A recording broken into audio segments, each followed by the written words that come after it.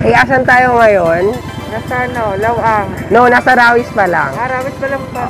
Wala po. Oo, bali yung Lawang, ayun pa siya, oh.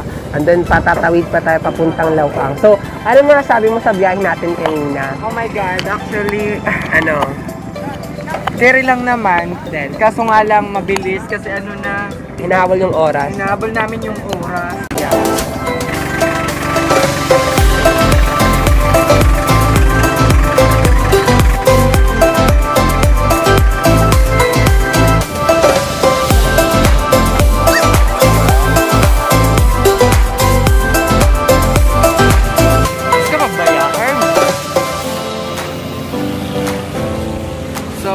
We are now law ang.